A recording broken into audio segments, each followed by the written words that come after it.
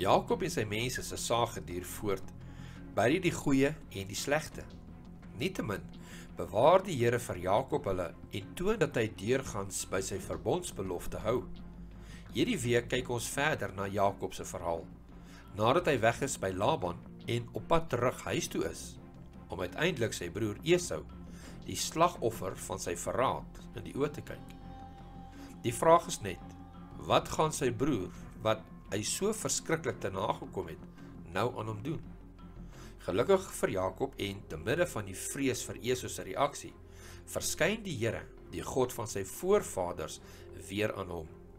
Hierdie gebeurtenis is 'n inleiding tot iets wat later as Jakob se benoudheid bekend sal staan, soos ons lees in Jeremia 30 vers 5 tot 7 wat in die ou Afrikaanse Bybel 'n tyd van benoudheid vir Jakob genoem word. Daardie nag het Jakob die bedrieër Israel geword, 'n nuwe naam sodat hy weer kan begin. 'n Begin wat uiteindelik tot die totstandkoming van 'n nasie sal lei.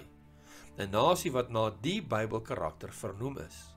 Met ander woorde, ten spyte van al die foute wat begaan word, is die verhale oor die patriarge en hulle huishoudings in die skrif opgeteken om te toon dat die Here getrou is, dat hy al sy beloftes nakom en doen dit ten spyte van sy kinders wat lyk of hulle soms alles in hulle vermoë doen om die vervulling van daardie beloftes te te werk.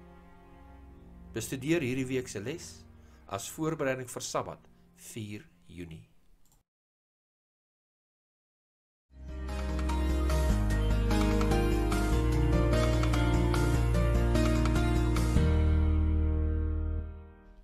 Haai, goeiemôre, baie welkom by nog 'n bespreking van ons weeklikse les saam met SSL. Ons kyk hierdie kwartaal na die boek Genesis En ons is hierdie week by ons 10de les, les 10 Jakob Israel.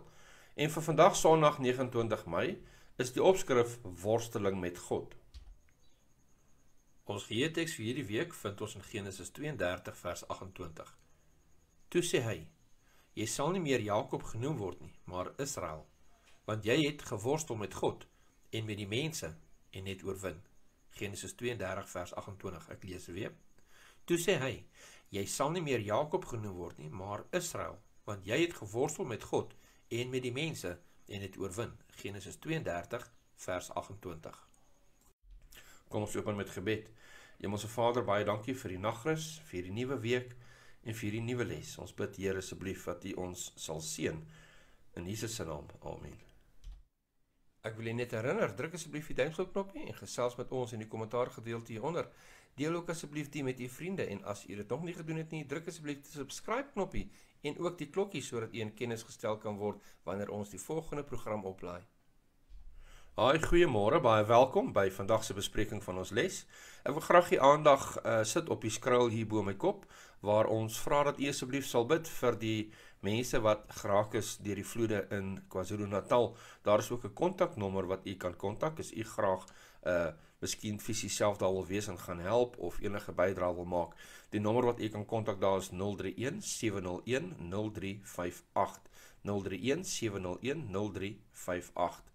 Ons bevra ook asseblief dat u die duimpie knoppie sal druk en hierdie sal deel met u vriende sodat hierdie beskikbaar sal word vir meer mense. En die op YouTube wat nog nie gesubscribe het nie, druk asseblief die subscribe knoppie en dan die klokkie daar langs aan sodat ons uh, meer mense kan bereik. Weereens baie dankie dat u vanmôre saam met ons inskakel en wanneer u ook al deur vandag saamkom luister.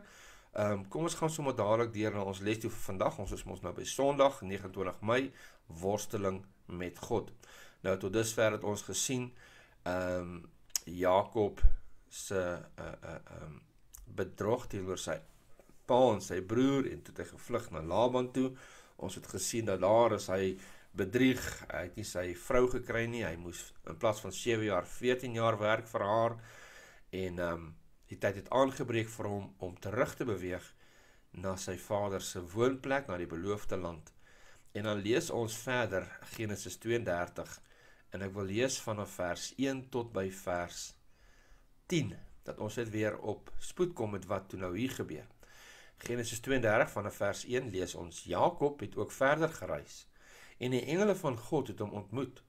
Toe toe hy hulle sien sê Jakob dit is 'n leer van God en hy het die plek Mahanaim genoem.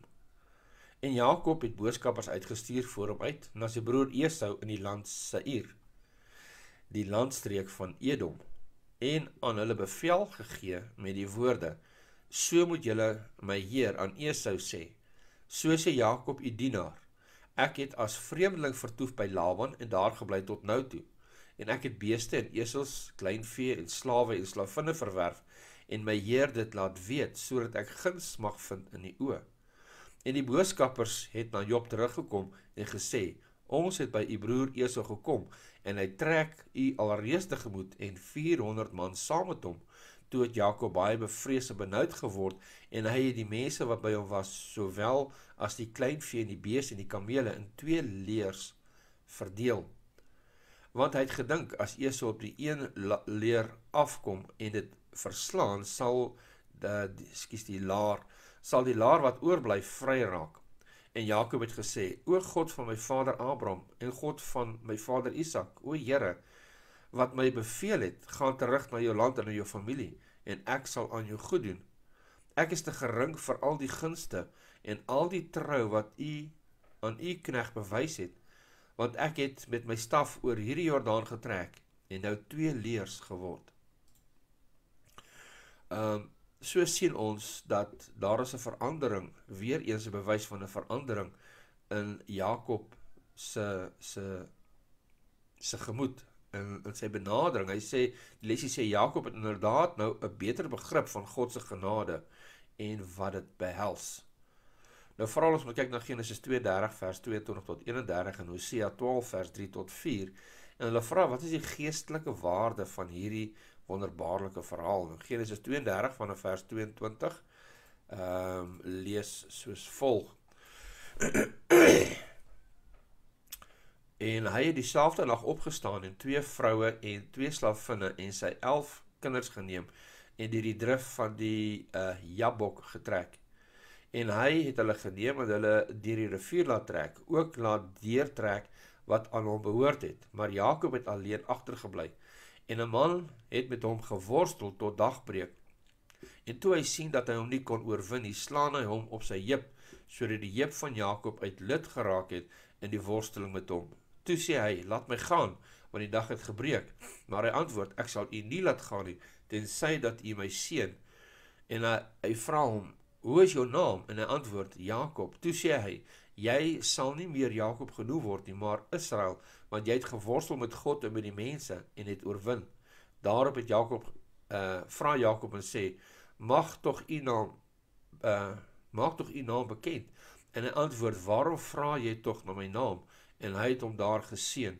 Toe noem Jakob die plek Peniel want hy het gesê ek het God gesien en, uh, van aangesig tot aangesig en tog is my lewe gered en die son het voorop opgegaan net toe hy uh Penuel verbygaan en hy was mank aan sy heup.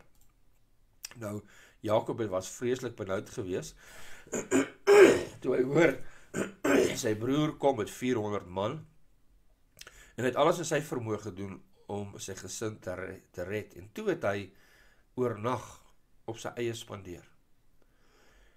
En hy het natuurlik gegaan om tyd met God te spandeer om by God te pleit. En gedurende hierdie tyd uh, sê die Bybel kom daar 'n man wat hom aanval wat met hom stoei. Uh, nou hierdie naamwoord 'n man het soms spesiale konnotasie in die Bybel en roep die teenwoordigheid van God voor die geestesoog soos Jesaja 53 vers 3 hy was verag en deur die mense verlaat 'n man van smart en bekend met krankheid. Ja soos een vir wie mense gesig laat verberg. Um, hy was verag en ons het hom nie geag nie uh, nou die lesie sê Daniel gebruik hierdie uh, selfde bewoording wanneer hy praat van Micha in Daniel 10 vers 5 waar hy sê en ek het my oë opgeslaan en daar sien ek 'n man met linne bekleed en sy heupe was omgord met goud weer eens daai 'n man dieselfde bewoording as wat gebruik is hierson Genesis 32. Josua gebruik dit ook wanneer hy praat van die leeroowerste van die Here wanneer hy hom beskryf en hy noem hom Jahwe self. Ehm um, jy gaan dit lees in Jos, uh, Josia 5 uh, uh Josua 5 vers 13 tot 15. Nou tydens die worsteling besef ja besef Jakob uh op 'n stadium dat hy met God self worstel En hy sê ek sal u net los as u my seun. En Jakob het so drigtig vasgehou en hy het geweier om hom te laat gaan. Ehm um, wat wys dit toon sy passievolle begeerte na vergifnis. Want hy het toe besef die gevolg van sy groot sonde. Ons lees op Patriarge en Profete bladsye 197 en 198.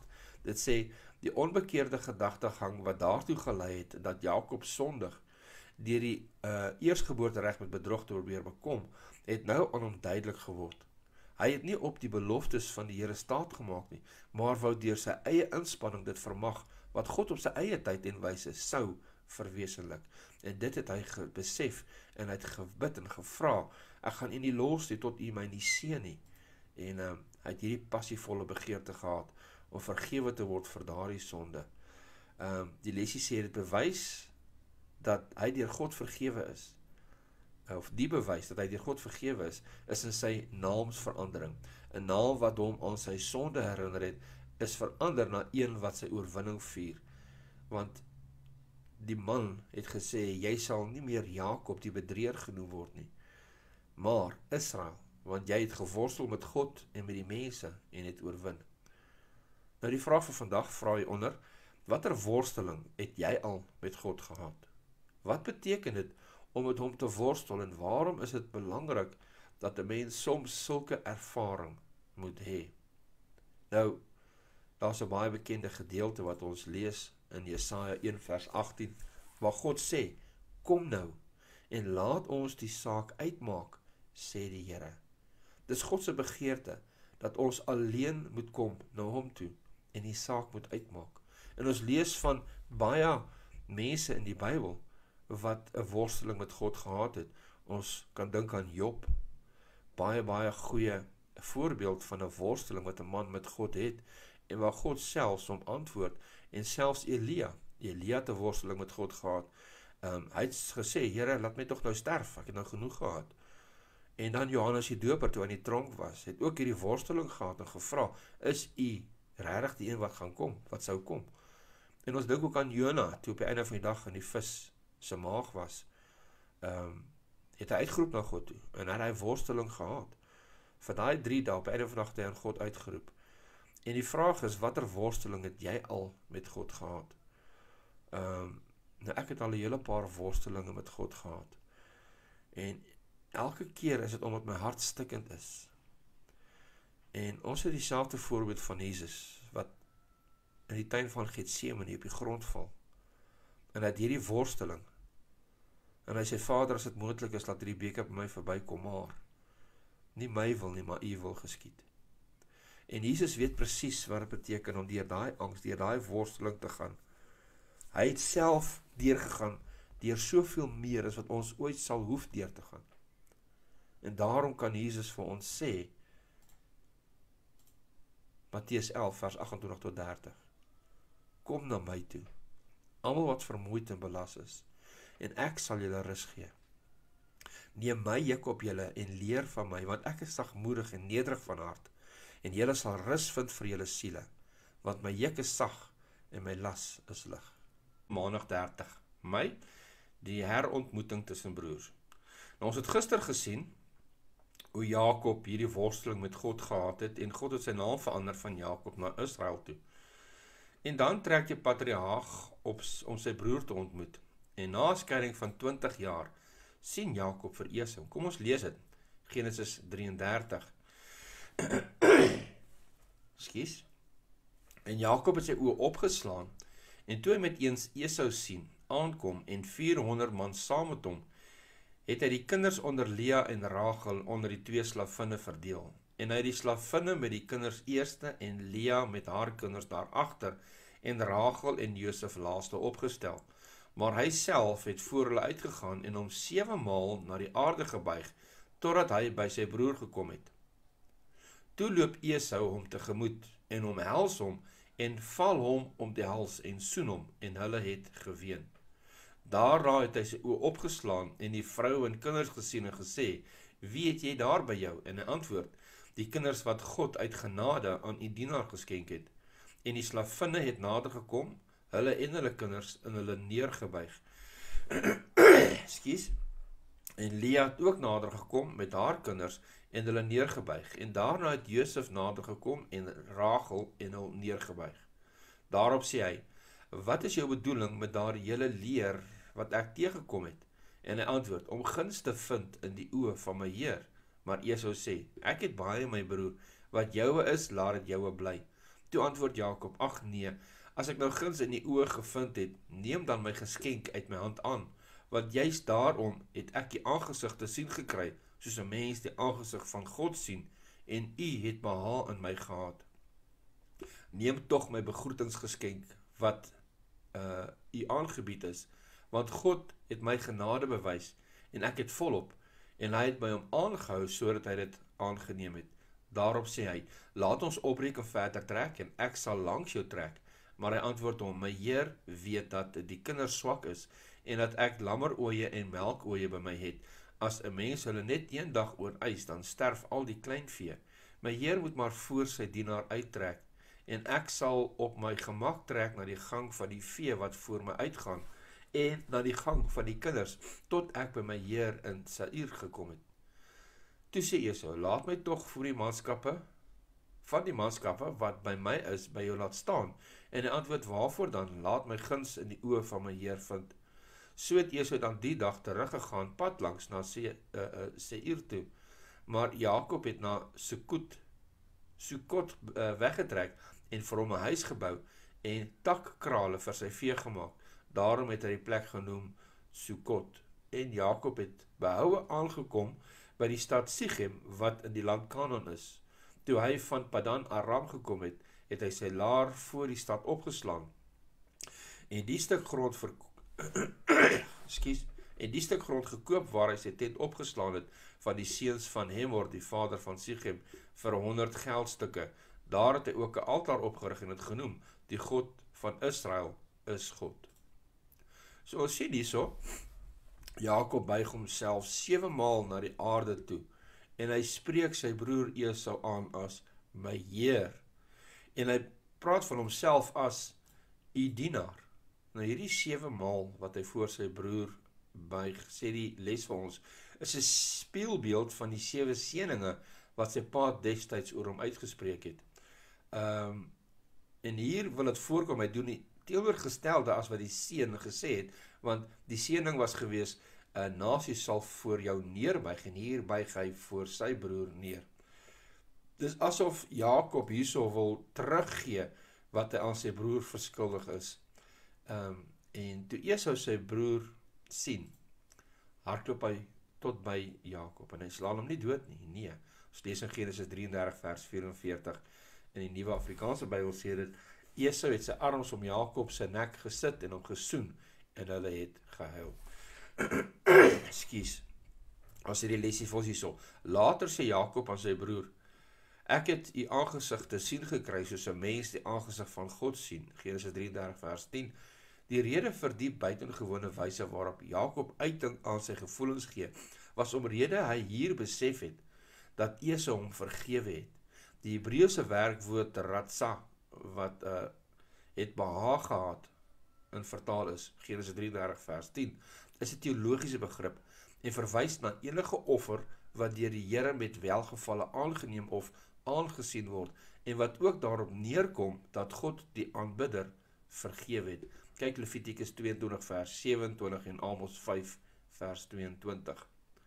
So Jakob uh beskou hierdie ontmoeting met sy broer uh as 'n direkte 'n uh, uh, 'n vergelyking van 'n van die direkte ontmoeting wat hy met God gehad het. Jakob besef dus of hy beleef dus 'n tweede pneel ervaring. Die eerste 'n oefenloopie vir die tweede. Jakob is deur God en deur sy broer vergewe. Sekerlik het hy nou meer as ooit tevore verstaan wat genade beteken. Ons vraag vir die dag vra: Dink aan al die kere wat ander jou vergewe het. Wat het jy daaruit oor God se genade geleer? Wel wanneer dit by vergifnis kom, lees ons uh in Efesiërs 4 vers 32: Maar wees vriendelik en vol ontferming teenoor mekaar, vergeef mekaar soos God ook in Christus julle vergewe het.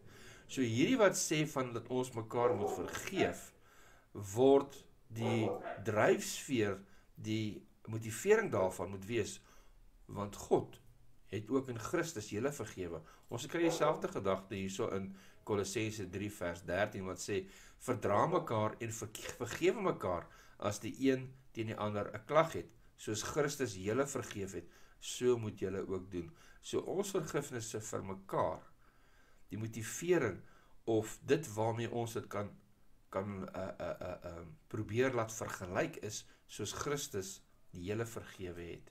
En dis 'n pragtige gedagte hierdie. As my broer en my suster vergewe, herinner dit my aan Christus wat my vergewe het. Wanneer ek hulle vergewe, vergewe ek hulle soos Christus my vergewe het. En dis 'n baie mooi en 'n goeie ehm um, dryfveer om te vergewe. Ons lees ook natuurlik hierso in Markus 11 vers 25 en 26 en ons sien hoe belangrik vergifnis is. Jesus sê hierso en wanneer jy staan en bid, vergeef as jy iets teen iemand het, sodat julle Vader wat in die hemele is ook julle oortreding mag vergewe. Maar as julle nie vergewe nie, sal julle Vader wat in die hemele is ook julle oortredinge nie vergewe nie. En dit is 'n baie moeilike ding om te doen. Dit is waar. Daar's dinge wat aan mense gedoen is wat jy amper kan sê ehm uh, ehm uh, wat nie vergewe kan word nie. Maar tog as ons moet dink aan alles en hoeveel keer ons ons rug teen die Here gedraai het en hoe ons hom al te nagekom het en sy naam laat skade ly het in ons optrede. Ehm um, hoeveel keer ons die Here verloon het. Ehm um, en tog het die Here ons vergewe. Tog het hy gewilliglik nie ons vergewe nie, maar hy het vir ons gesterf. En sodat ons ook dit kan ontvang wat hom toekom, wat die ewige lewe is, hy wat ons skuldig is, sodat ons voor die voor God kan sit asof ons nooit gesondig het nie. En en en dit moet ons motivering wees om mekaar te vergewe. En ek dink die groot ding wat ons keer om te vergewe is die eie ek. Want ek is te nagekom. En dit is tog die groot vyand, nê, nee, is die eie ek. En uh ons almal sukkel daarmee wel die meeste van ons, wel ek sukkel daarmee om om sekere dinge te vergewe, sekere mense te vergewe. En uh dit is 'n begeerte in my hart wat die Here my dat die Here my daai vermoë sal gee om alles wat nog in my hart en in u hart sit waar ons sukkel om te vergewe dat die Here ons die vermoë sal gee. Want anders kan ons nie verder groei in Christus nie. Daar's hierdie pragtige gedeelte wat ek mee wil afsluit vandag. En ons vind dit in Psalm 32 vers 5 dit sê my sonde het ek u bekend gemaak en my ongeregtigheid het ek nie bedek nie. Ek het gesê ek wil aan die Here my oortredinge bely en u hierdie ongeregtigheid van my sonde vergewe. Sê dit Dinsdag 31 Mei die ontering van Dina. So ons het nog gesien uh Jakob het hom nou versoen met sy broer Esau en hy het nou gaan woon in die land Kanaan waar hy daar in vrede wil woon. En vir die eerste keer uh, word Jakob se lewenspad deur vrede gekenmerk. Hy koop daar 'n stuk grond en hy bou 'n altaar, 'n regte altaar vir die Here op as teken van sy geloof en van die besef hoe afhanklik hy in werklikheid van God is. Maar vrede in Kanaan is makliker gesê as gedaan. Kom ons kyk wat gebeur. Kom ons lees Genesis 34.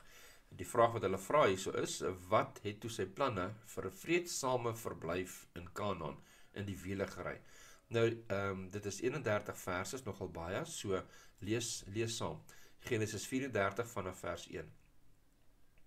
En Dina, die dogter van Lea, wat sy vir Jakob gebaar het, het uitgegaan om die dogters van die land te leer ken. Toe Sichem, die seun van Hemor, die Hewit, die vors van die land haar sien, het hy haar gegryp en met haar gemeenskap gehad en haar onteer. En sy siel het verkleef geraak aan Dina, die dogter van Jakob. En hy het die dogter liefgehad en na die hart van die dogter gespreek. Sichem het ook met sy vader Hemor gespreek en gesê: "Neem daardie dogter vir my as vrou." Toe Jakob dan hoor dat hy sy dogter Dina onteer het, was sy seuns by sy vee in die veld en Jakob geswyg totdat hulle gekom het. En Hemor, die vader van Sichem, het na Jakob uitgekom om met hom te spreek. En die seuns van Jakob het uit die veld gekom toe hulle dit hoor. En die manne was gegrief en baie kwaad omdat hy as kantdaad in Israel begaan het deur met die dogter van Jakob gemeenskap te hou. So iets mag nie gebeur het nie. Toe spreek Hemor met hulle en sê: Die siel van my seun Sichem is verlief op julle dogter. Gee haar tog aan hom as vrou en verswaar julle met ons. Gee aan ons julle dogters en neem vir julle ons dogters. Bly maar by ons woon en die land sal vir julle oop lê. Woon en trek rond daarin en verwerf vaste besittings daarin. En Sichem sê vir haar vader en haar broers: Laat my guns vind in julle oë en wat julle van my eis sal ek gee. Vra my 'n baie groot koopprys en geskenk en ek sal dit gee soos julle aan my sê gee my net die dogter as vrou. Toe antwoord die seuns van Jakob vir Sichem en Hemor, sy vader met bedrog. Hulle het so gespreek omdat hy hulle suster Dina onteer het. En sê vir hulle: "Kom. Uh, uh ons kan dit nie doen om ons suster aan 'n man te gee wat die voorheid het nie, want dit sou 'n skande vir ons wees. Net op hierdie voorwaarde kan ons inwillig. As julle word soos ons deurdat almal wat manlik is onder julle besny word dan sal ons ons dogter aan julle gee. En ons sal julle dogters vir ons neem. En ons sal by julle woon en een volk wees. Maar as julle nie na ons luister en besny word nie dan neem ons ons dogter en ons trek weg en hulle woorde was goed in die oë van Hemor en in die oë van Sichem die seun van Hemor En die jong man het nie versuim om dit te doen nie, want hy het sin gehad in die dogter van Jakob en hy was die mees geëerde in die hele huis van sy vader. Toe gaan Hemor en sy seun Sichem na die poort van hulle stad en hulle spreek met die manne van hulle stad en sê: Hierdie manne lewe in vrede met ons. Daarom laat hulle in die land woon en daar hulle rondtrek.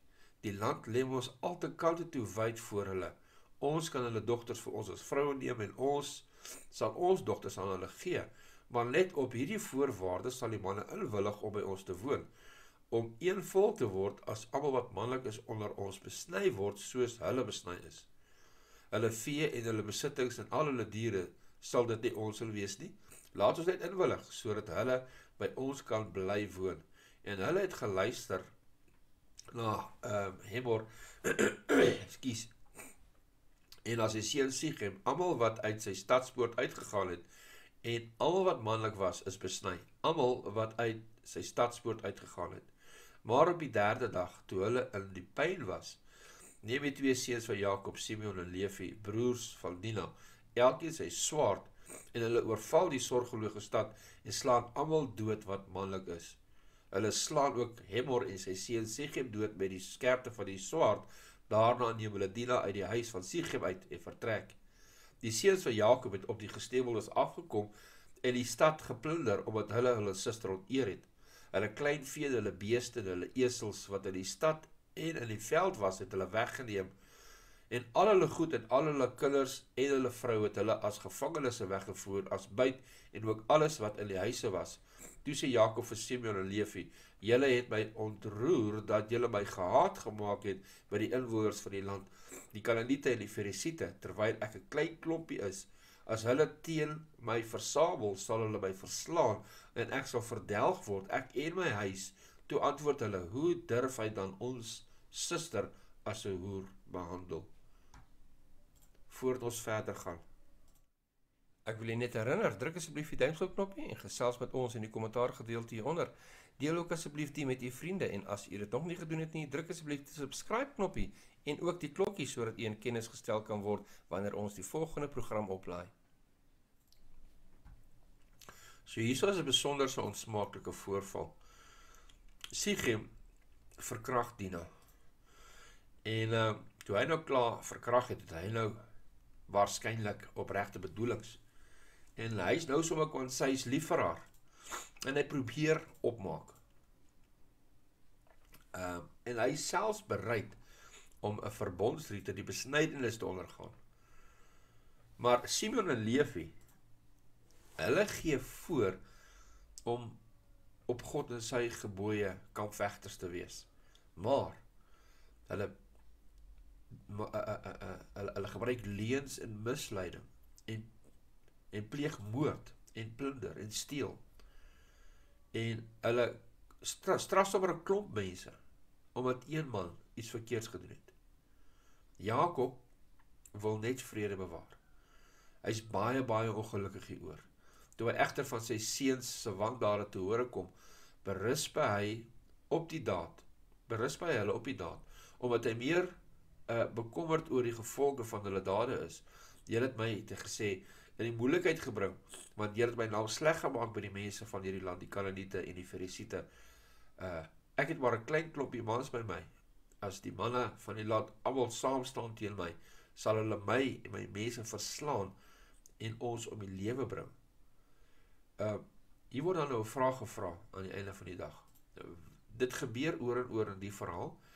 Die spul leuns en bedrog tog ook dade wat van goedheid en gelade getuig.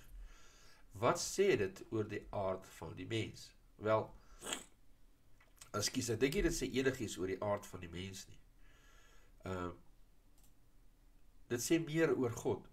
Want Jakobus 1 vers 17 sê vir ons elke goeie gif en elke volmaakte gawe dal van bo af neer van die Vader van die ligte by wie daar geen verandering of skaduwee van omkering is nie. Alles wat goed is, kom van God af. Daar is niks in my wat ek sal doen wat goed is wat uit myself uitkom nie. As ons aan onsself oorgelaat word. Ons doen in elk geval alreeds die meeste van die goeie ding wat ons doen, daar is 'n selfsugtige rede daar agter. So as daar enigstens iets goeds in my is, kom dit van God af. Dit sê vir my niks hierso oor die aard van die mens, oor die goeie dade wat ek doen nie.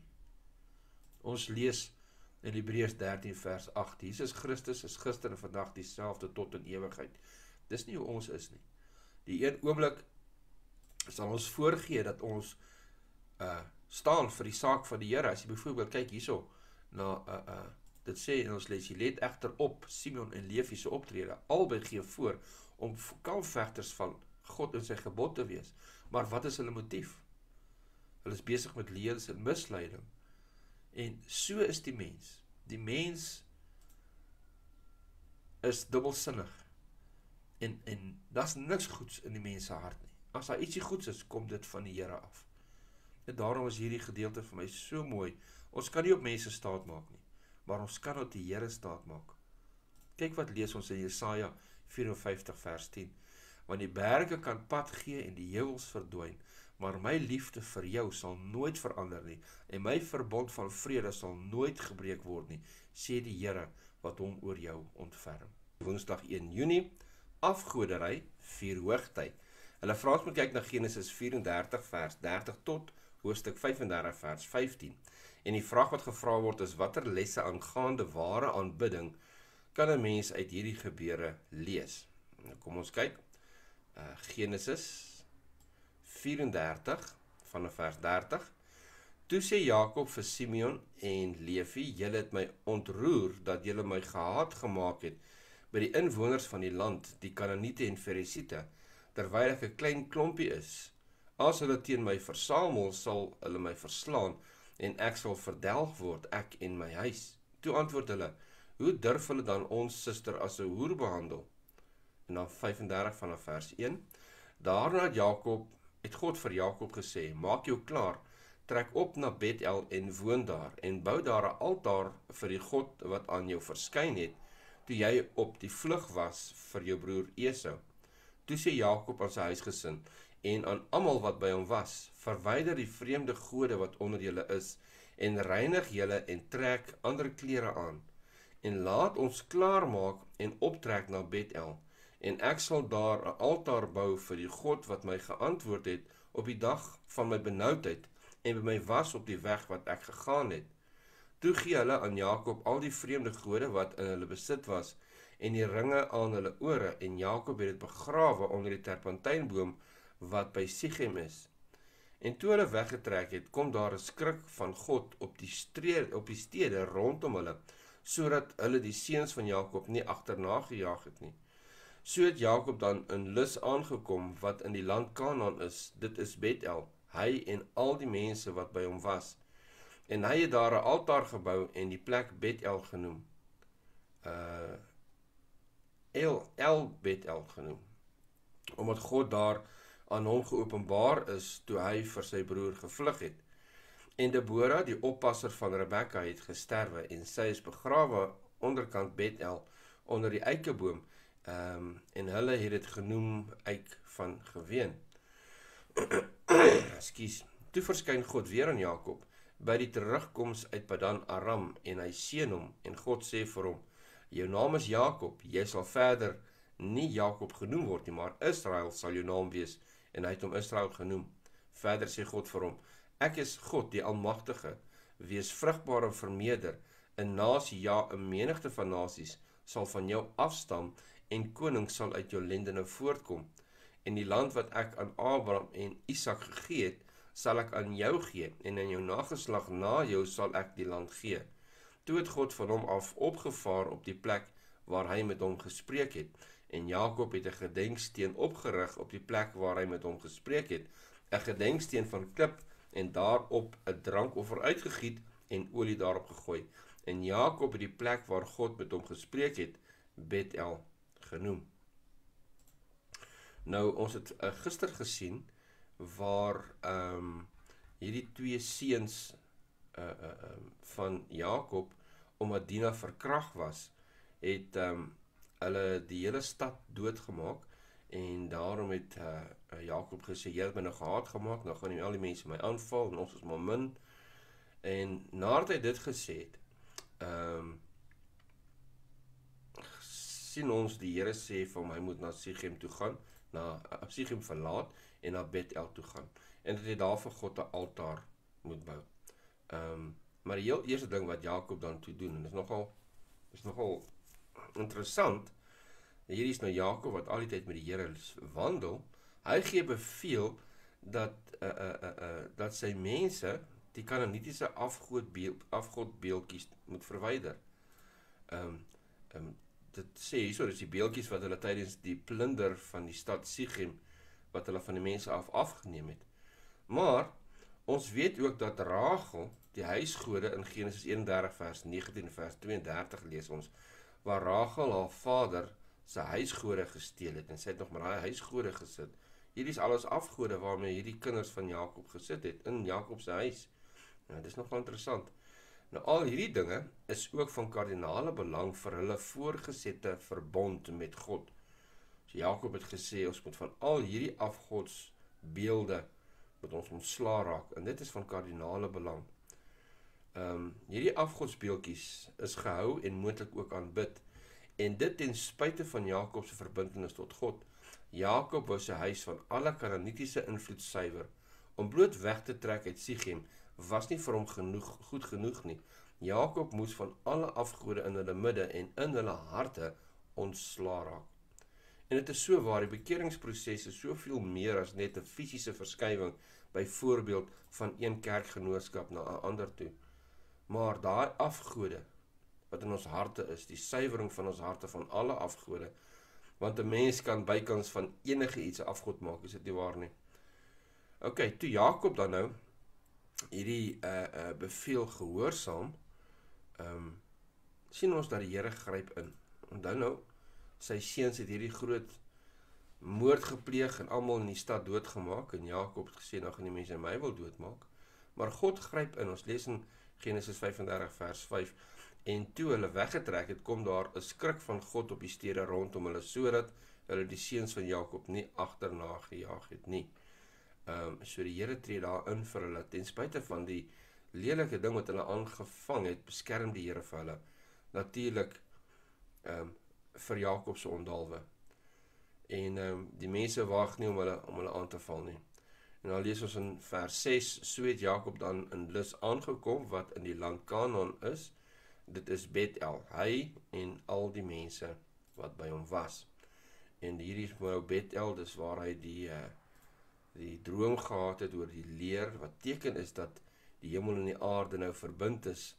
Ehm um, wat sê dat die verbreekte verbintenis herstel is. En hierso spreek God met hom en God herinner aan hom dat sy naam is nou Israel in Genesis 35 vers 10. En die Here gee vir hom 'n dubbele belofte. Eerstens 'n uh, vrugbaarheid, die voorsetting van die messiaanse stamboom as ook die voortbring van baie nasies Genesis 35 vers 11 en tweedens wys dit op die beloofde land Genesis 35 vers 12. Dit bring ons by die vraag vir vandag en die vraag is soos volg: Op watter subtiele wyse kan afgoderry in die gelowige se hart wortel skiet en wat kan 'n mens daaraan doen? Lees dit weer. Op watter subtiele wyse kan afgoderry in die gelowige se hart wortel skiet en wat kan 'n mens daaraan doen? Nou dis baie waar wat Lesie hierso gesê het dat ehm, 'n uh, mens kan bykans van enige iets 'n afgod maak. So die vraag is, hoe kan ons daarteen waak? Wat kan ons doen? Die Bybel sê vir ons baie mooi hierso in 1 Korintiërs 10 van 'n vers 1 tot by vers 12 die volgende wat ek wil nie hê en hy hierso praat hy nou van die mense wat saam met Moses deur die woestyn gegaan het. Hy sê want ek wil nie hê broeders dat julle nie sou weet nie dat ons vaders almal onder die volk was en almal deur die see deur gegaan het en almal in Moses gedoop is in die wolk en in die see en almal dieselfde geestelike spys geëet het en almal die geestelike drank gedrink het want hulle het gedrink uit 'n geestelike rots wat gevolg het en die rots was Christus, maar God het in die meeste van hulle geen welgevalle gehad nie, want hulle is neergeslaan in die woestyn en hierdie dinge was voorbeelde vir ons dat ons nie begeerig moet wees na slegte dinge soos hulle begeerig was nie en wees ook nie afgodsdienaars soos sommige van hulle was nie soos geskrywe is die volk het gaan sit om te eet en te drink en het opgestaan om te speel. Laat ons nie horeer soos sommige van hulle gehoreer het nie en daar het op een dag 23000 geval. Laat ons Christus nie versoek soos ook sommige van hulle gedoen het nie en hulle het deur die slange omgekom. En moenie murmureer soos ook sommige van hulle gemurmureer het nie en hulle het deur die verderwer omgekom. Maar al hierdie dinge het hulle oorgekom as voorbeelde en is opgeskrywe as 'n waarskuwing aan ons op wie die eindes van die eeue gekom het. Daarom wie meen dat hy staan, moet oppas dat hy nie val nie. So wat sê hierdie gedeelte vir ons? Dit sê vir ons so mooi. Ons lees in Psalm 119 vers 11: Ek het u woord in my hart geberg dat ek teen u nie sal sondig nie. En hieso is die voorskrif wat Paulus hierso gee. Hy sê hierdie dinge wat opgeskryf is in die Bybel is opgeskryf vir ons as 'n voorbeeld, as 'n waarskuwing. So wat dit vir my sê is ek moet tyd spandeer in die woord van God want daardeur gaan my hart verander. Daardeur gaan ek die waarskuwings, gaan ek die voorbeelde van wat ek nie moet doen nie, gaan ek daarso sien. En daar's ons baie voorbeelde wat vir my gaan wys watter valstrikke daar kan wees en kan kan ek daai valstrikke vermy. Maar gelukkig eindig Paulus nie net met daai gedeelte nie, want wat daar geskrywe is gaan aan in daai gedeelte en ek wil dit graag met u deel vandag en daarmee afsluit want dit sê verder in 1 Korintiërs 10 nou vers 13 en 14 die volgende. Dit sê geen versoeking het julle aangegryp behalwe 'n menslike nie. En luister na die mooi woorde, maar God is getrou. Wat nie sal toelaat dat julle bo julle kragte versoek word nie, maar hy sal saam met die versoeking ook die uitkoms gee sodat julle dit sal kan verdra. Daarom, my geliefdes, vlug vir die afgode diens. Donderdag ehm um, 2 Junie Rachel se dood. Hulle vra ons moet kyk na Genesis 35 vers 15 tot 29. En dan vra hulle watter anders maar het Jakob se disfunksionele gesin te beurt geval. Nou kom ons kyk. Genesis 35 vanaf vers 15 en Jakob het die plek waar God met hom gespreek het Bethel genoem. Daarna het hulle van Bethel af weggetrek en toe daar nog 'n kort eindpad was, om by Efra te kom, moes Rachel baar en sy het dit swaar gehad by die bevalling. En terwyl sy daar swaar uh swaar het by die bevalling, sê die voetvrou vir haar: "Wees nie bevrees nie, want dit is ook 'n seun vir u." En toe haar siel uitgaan want sy het gesterwe, noem sy hom Ben-Oni, maar sy vader het hom Benjamin genoem. So het Rachel dan gesterwe en sy is begrawe op die pad na Efrat, dit is Bethlehem. En Jakob het 'n gedenksteen op haar graf opgerig. Dit is die gedenksteen van die graf van Rachel tot vandag toe. En Israel het weggetrek en sy tent opgeslaan aan die ander kant van Migdal Eder. En terwyl Israel in die land woon, het Ruben gegaan en met Bilha, sy vrou se byvrou, gemeenskap gehad. Ag sy vader se byvrou gemeenskap gehad. En Israel het dit gehoor en die seuns van Jakob was 12.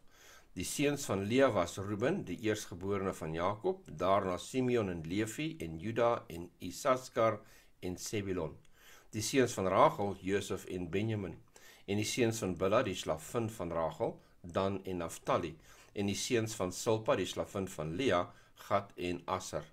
Dit is die seuns van Jakob wat vir hom in Padan Aram gebore is. En Jakob het sy vader Isak skus en Jakob het by sy vader Isak gekom in Mamre by Kiriat Arba. Dit is Hebron waar Abraham as vreemdeling vertoef het en ook Isak en die dae van Isak was 180 jaar. En Isak het die asem uitgeblaas en gesterwe en hy is by sy volksgenote versamel, oud en afgeleef en sy seuns Esau en Jakob het hom begrawe. Nou hierso is uh uh drie dinge wat hier gebeur wat verband het met mekaar.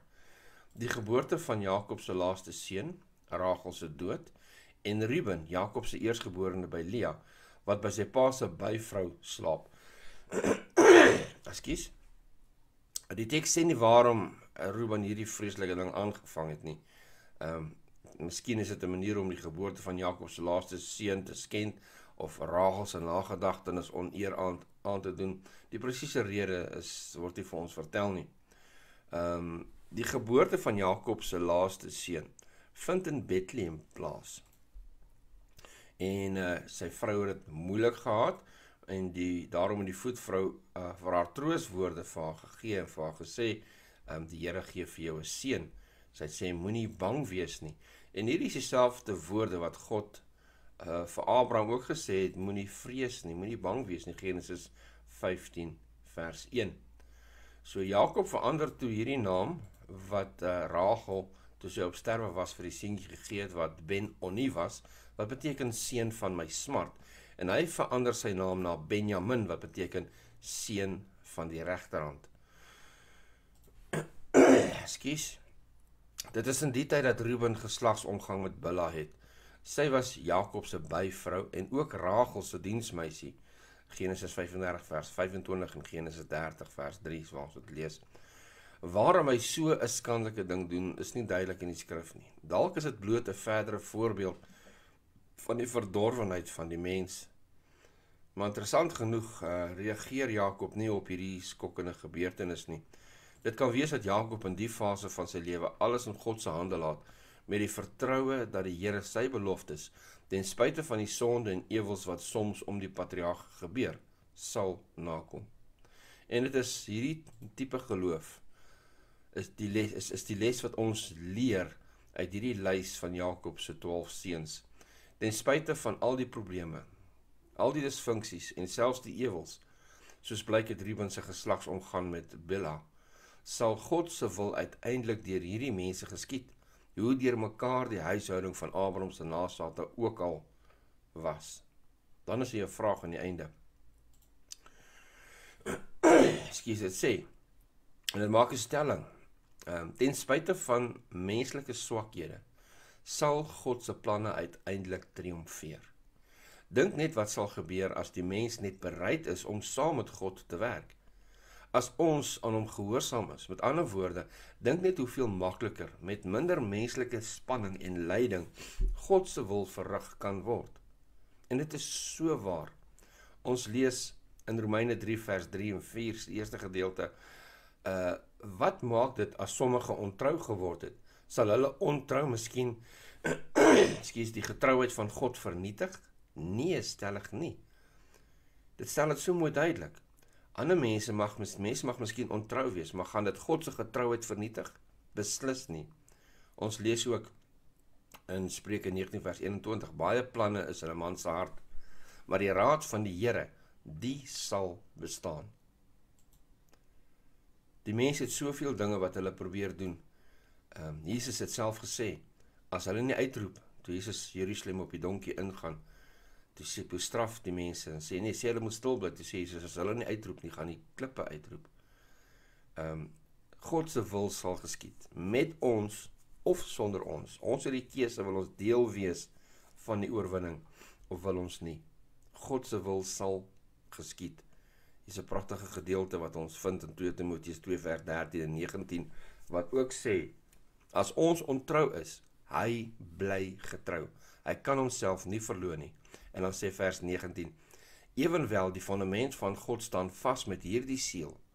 Die Here ken die wat syne is en laat elkeen wat die naam van Christus noem afstand doen van die ongeregtigheid. Vrydag 3 Junie En hierso by Vrydag sien ons hier's drie vrae. en die eerste vraag sê: Waarom baan Jakob se swakhede die weg vir God se genade? Hoe hou Jakob se flaters verband met Paulus se woorde? Want as ek swak is, dan is ek sterk. Gaan dit weer lees. Waarom baan Jakob se swakhede die weg vir God se genade? Hoe hou Jakob se flaters verband met Paulus se woorde in 2 Korintiërs 12 vers 10 want as ek swak is dan is ek sterk. Nou hierso is 'n uh, aanhaling uit Patriarge en Profete. Hier's twee hierso aan die bokant van Vrydag. Hierso is twee paragrawe. En die tweede paragraaf ehm um, raak vir my hierdie vraag nogal goed aan. Ek lees: Tog gee Jakob se lewensverhaal ons die versekering God verwerp nie diegene wat in Satan se sondestruk beland het nie. As hulle bekering, bekering en terugkeer na God natuurlik opreg is. Dit was deur 'n oorgawe van die eie ek, deur 'n geloof wat daadwerklik op God vertrou het, dat Jakob dit verkry het wat hy nie voorheen deur menslike inspanning kon verkry nie. Op die wyse dan het God sy dienskneg 'n belangrike les geleer. Slegs deur die krag en genade van God kon hy die seëning wat hy so begeer het ontvang. So sal dit ook met God se eindtyd kinders wees met gevare wat alom dreig en wanhoop wat die hart probeer verswelg. Vertrou hulle uitsluitlik op die verdienste van Jesus se bemiddeling. Uit ons eie kan ons niks doen nie. Dit is so waar, nê? Ons swakhede wys vir ons dat ons kan niks doen nie. Ons enigste hoop is in Christus Jesus. Vraag 2. Waarom openbaar die Bybel na jou mening so baie van die Bybelkarakters se veragtelike gedrag? Is daar enigiets wat die moderne gelowige daaruit kan put? Ekskuus, ek lees weer. Waarom openbaar die Bybel na jou mening so baie van die Bybelkarakters se veragtelike gedrag? Is daar enigiets wat die moderne gelowige daaruit kan put? En weer eens genoeg na hierdie aanhalinge uit Patriarg en Profeet, hierdie eerste paragraaf stel dit ook vir my baie mooi. Dit sê die stryd en angs wat Jakob in daardie nag van worsteling beleef beleef het, versinne beeld die beproewinge wat die kinders van die Here voor Jesus se wederkoms sal deurmaak. Dit is wat God se kinders in hulle laaste worsteling met die bose magte sal beleef. Die Here sal hulle geloof, hulle deursettingsvermoë en hulle geloofsekerheid in sy vermoë om hulle te red, beproef en toets. Satan sal hulle probeer terroriseer met die idee dat hulle 'n verlore saak voor God is, dat hulle sondes te groot was om sy vergifnis te ontvang. God se kinders word dan pynlik bewus van hulle eie tekortkominge. Die sulkes neem bestek van hul lewens en begin om moed te verloor. Dan onthou hulle egter hoe groot die genade van God is. En hoe gaan hulle dit onthou? Ons gaan dit onthou deur ons eie lewenswandel met God, maar ook deur die woord van God waar ons lees van al hierdie veragtelike gedrag van hierdie mense, selfs soos wat koning Dawid gedoen het, en tog het kon God hom vergewe en ons gaan dan hoop daaruit put. Dit sê verder. En daarmee saam hoe opreg hulle bekering was en beroep hulle op die belofte wat God deur Christus aan die hulpelose boetvaardige sondaar gemaak het. Dan versaak hulle nie die geloof omdat hulle gebede nie dadelik verhoor word nie. Nee, hulle gryp die krag van God aan, net soos Jakob wat vasklou in die engel met hulle binneste wat uitroep: Ek sal u net laat gaan as U my seën. En dan dit bring ons by die derde vraag. Ekskuus. Dit sê bepeins die afgoderry kwessie. Wat is die afgode van die hedendaagse mens? Hoe kan ons keer dat ons nie enige een of enige iets behalwe die Here aanbid nie? En dit is natuurlik waar dat daar is baie afgode in ons wêreld vandag. Selfs ons voertuig, selfs ons man of ons vrou of ons kinders of selfs die eie ek kan 'n afgod wees. En die vraag hierso is, hoe kan ons keer dat ons nie enige een of enigiets behalwe die Here aanbid nie? Ehm um, wel daar is net een manier.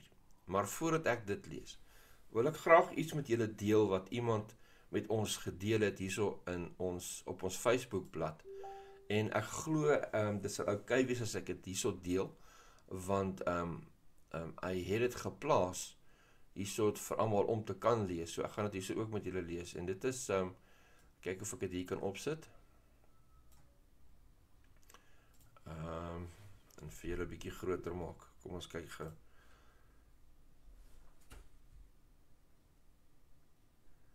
groot genoeg maak dat ons almal dit kan lees. Goed, dit sê is Nico Pretorius wat sy getuienis hierso gee. Hy sê om al drie hierdie vrae te beantwoord, gaan ek my getuienis ondervinding deel. Die eerste vlaag van COVID het my by die dood laat omdraai. My getuie is begin waar my buurman ons verniet laat wifi geniet het. In plaas van elke oggend se Bybelstudie en gebed, het ek wêreld movies afgelaai en gekyk toe kry ek COVID so erg dat ek vir 4 tot 5 dae net bloed gehoes het. Ek was geestelik en liggaamlik swak. Mense in my kerk is daardie week dood weens COVID. Genadiglik het God dit so bewerkstellig dat ek by die huis op 'n suurstofmasjien was. Boop die COVID is ek gediagnoseer met longontsteking en in my linkerlong. Die Satan het my probeer oortuig dat ek as 'n verlorene sou sterf. Ek moes deur 'n Jakob ondervinding gaan om eers weer geestelik gesond te word voor ek fisies genees kon word. Die 5de aand het ek 'n hele nag 'n strydworsteling met God gehad.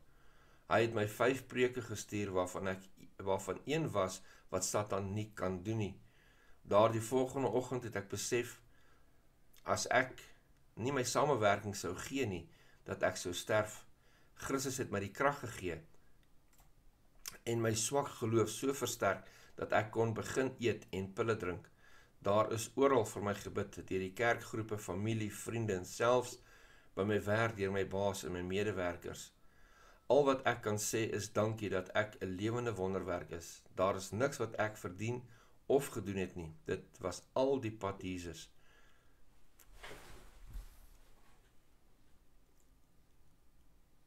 Ek het self soveel genade ontvang. Ekskuus julle.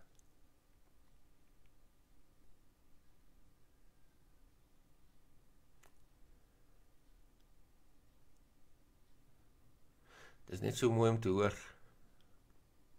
dat die Here genade het vir ons.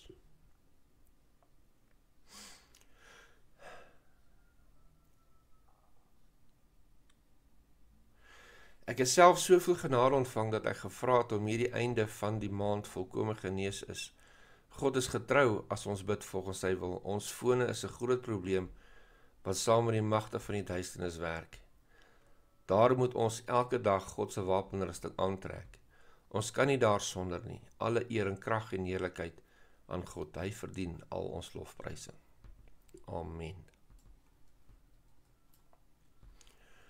Die vraag hier daaronder is bepeins die afgoderry kwessie. Wat is die afgode van hierdie hedendaagse mense? Ons het nou gesien sosiale media, media.